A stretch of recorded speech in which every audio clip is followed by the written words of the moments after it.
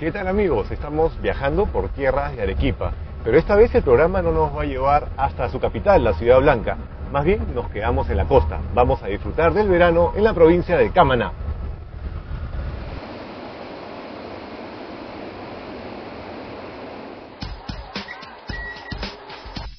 Hacemos el viaje en una de las tantas empresas que te llevan desde Lima en 13 horas. Si quieren pueden volar a Arequipa y de allí solo son dos horas hasta Camaná. Reportaje al Perú.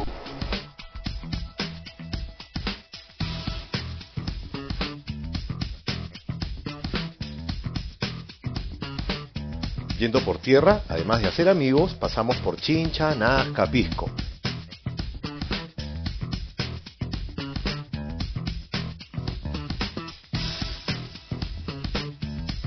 Y ya en Arequipa, pueblos como Chala, rodeados de olivos y chacras. Después nos envolvieron los desiertos y vientos que se comen la carretera. Por ratos, la Panamericana nos acerca a una costa maravillosa. El día se pasa volando.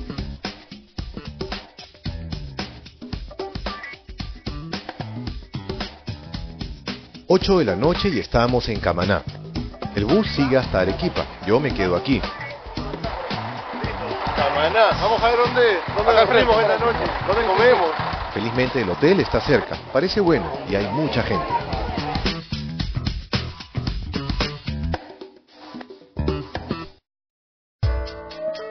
Vamos a ubicarnos.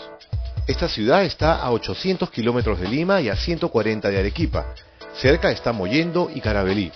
Camaná tiene más de 40 kilómetros de playas y un clima perfecto. Le dicen la tierra del camarón. Caminemos un poco. En verano esta urbe es movida como ella sola. Temprano y al atardecer van y vienen los buses. Hay mucho comercio, bastantes mototaxis y también triciclos que contaminan menos.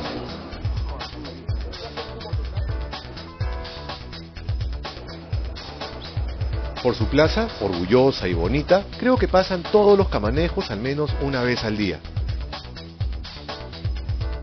Ahí está su inconfundible iglesia y el bulevar, la parte moderna de la ciudad, con minimarkets, cajeros automáticos y centros comerciales.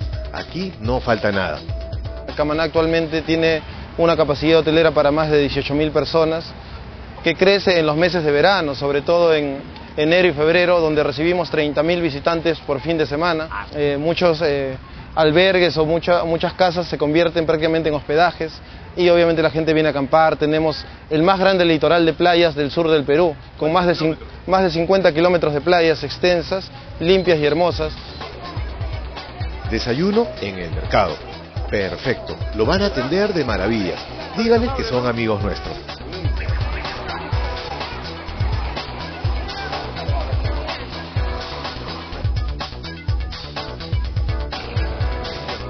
Veamos dónde pueden quedarse a dormir.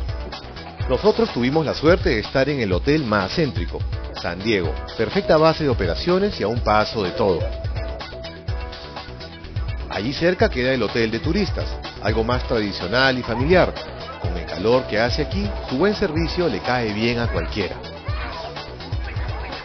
Las Cabañas es un hotel diferente, con casitas entrañables frente a una laguna y en medio del campo. Tranquilidad en las afueras de la ciudad. Mira, cuánta gente se está perdiendo de, de- de todo lo bueno que tiene Camaná. Porque quizás los arequipeños y la gente del sur conocen, pero el resto del Perú, pocos, ¿ah? Pocos, ¿sabes? No, no, pero generalmente ahora ya está viniendo gente ya de, de Puno, Así. de, de Cusco y de Bolivia está viniendo. Y acá se come, como digo, acá se come excelente, acá hay harto camarón, las playas son bonitas, hay sitios para divertirse en cualquier cantidad de discotecas. Comer en Camaná es fácil.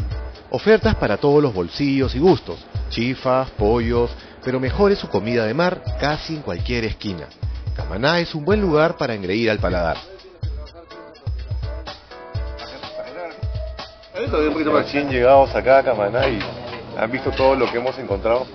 Buenos hoteles, buenos servicios, se come rico y todavía falta ver lo que tiene la naturaleza acá en Camaná. Salud, salud, salud.